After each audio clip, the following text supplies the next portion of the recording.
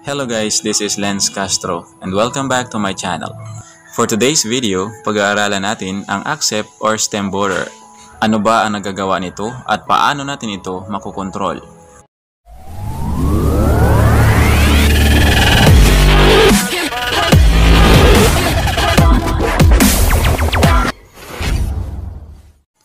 Accept o stem borer May anim na uri ng accept na umaatake sa palay.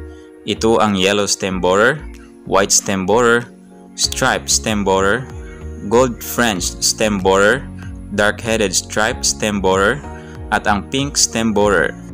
Sa mga aksip na ito, ang pink stem borer ang pinakamahinang maminsala sa palay dahil mas kinakain ng mga ito ang tubo o sugarcane kaysa sa palay.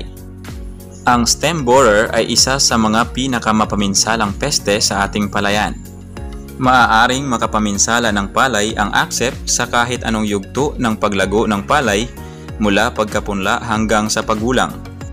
Kinakain nito ang mga suhi. Nagdudulot din ito ng pagkamatay o pagkatuyo ng gitnang suhi. Ito ay maaaring mangyari mula sa yugto ng pagsibol hanggang sa paglago ng palay bago mamumulaklak or vegetative phase.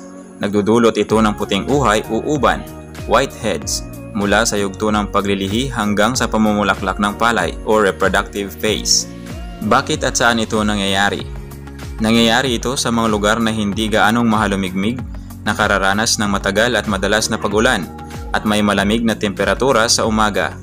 Sa mga palayang katihan, ang malaking pagkakaiba ng temperatura sa araw at sa gabi na nagdudulot ng hamog sa mga dahon ay nakakapagpalala sa paglaganap ng sakit. Paano natin matutukoy na ang umaatake sa ating palay ay stem borer? Suriin ang palayan kung may sintomas ng mga sumusunod na pinsala. Mga patay na suwi na madaling matanggal mula sa puno sa panahon ng pagtubo hanggang sa paglago ng palay bago mamumulaklak or vegetative phase. Puting uhay o uban, whiteheads, sa panahon mula sa paglilihi hanggang sa pamumulaklak o reproductive phase ng palay kung saan ang mga tubo-tubong uhay ay kulay puti at hindi puno o walang laman. Maliliit na butas sa tangkay at suwi. Dumi ng insekto sa loob ng nasirang tangkay. Bakit mahalaga na ito'y agad nating malunasan? Dahil ang labis na pagbubutas sa talukap ay maaaring makasira ng pananim ang pinsalang dulot nito ay maaaring magpababa ng suwing kayang magparami o reproductive tillers. Kung ang impeksyon ay nangyari sa mga huling yugto ng paglaki ng palay, makapagdudulot ito ng mga puting uhay o uban. Ang pinsala ng yellow stem borer ay maaaring magdulot ng 20% na pagbawas ng ani sa mga palayang maagang tinamnan at 80% naman sa mga palayang huli ng natamnan.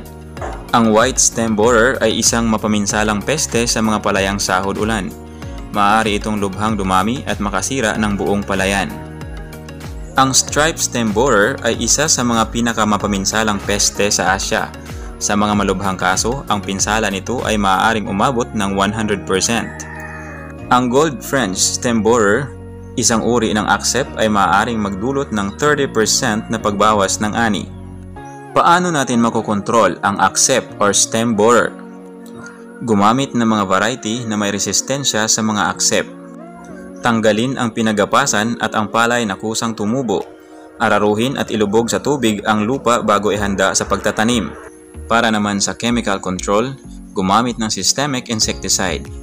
Ang systemic insecticide ay tumatagos o nanunuot sa lahat ng parte ng tanim. Maaring gumamit ng powder o liquid insecticide.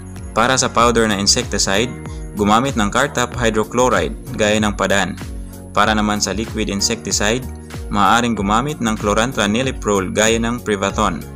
Ang Privathon ay subok na mabisang pamuksa ng mga Lepidopterans gaya ng stem borer at leaf folder. Dito po nagtatapos ang ating video mga kaagri. Sana po ay mayroon kayong natutuhan sa videong ito. Kung mayroon kayong natutuhan, huwag kalimutang mag-SLS, subscribe, like, and share. Thank you so much guys for watching. See you on my next video.